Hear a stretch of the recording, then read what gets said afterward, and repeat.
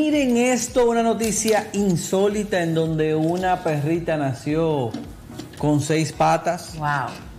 Y dos rabos. Y dos colas. Miren eso, señores. Y se ha hecho viral en el mundo entero.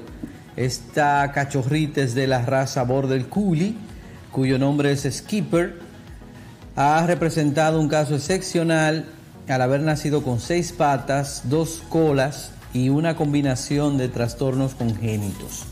A raíz de su trastorno, el can tiene dos regiones pélvicas, dos vías urinarias más bajas, dos sistemas reproductivos, dos colas y seis piernas, entre otras cosas, además de también tiene señales de espina bífida a lo largo de su columna vertebral. Los veterinarios no salen de su asombro y ven la evolución de esta cachorrita con todos sus órganos y todos sus músculos respondiendo con normalidad. De hecho, los médicos se muestran optimistas con su futura vida. Para los que son amantes de los cachorros, miren qué genialidad. Para mí es una genialidad. Y estas cosas insólitas pueden pasar y no solamente con perritos o cachorritos.